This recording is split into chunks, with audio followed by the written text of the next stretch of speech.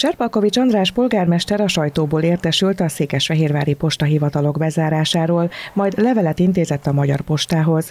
Ezt követően hétfőn tárgyalóasztalhoz ült Fónagy János államtitkárral, hogy megoldást találjon a november 12-én bezáró postafiókok újranyitásának feltételeiről.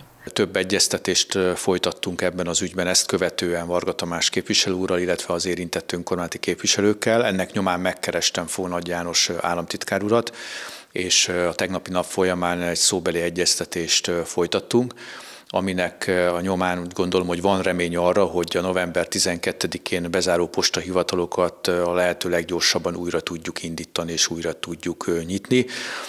Bízom benne, hogy ez valamikor a jövő év első részében meg tud történni, tehát nem kell megvárni vele a tavaszt. A megbeszélés eredményeként a Magyar Posta ZRT felhatalmazást kapott, hogy tárgyaljon az önkormányzattal az újranyitás pénzügyi és jogi feltételeiről, annak dátumáról. Ennek része lesz egy megállapodás az önkormányzat és a posta között. A postahivatalok vonatkozásában költséget kell vállalni az önkormányzatnak készek vagyunk ebben az együttműködésben a megállapodást létrehozni, és valamilyen összeggel, arányban hozzájárulni ezeknek a postahivataloknak a működési költségeihez.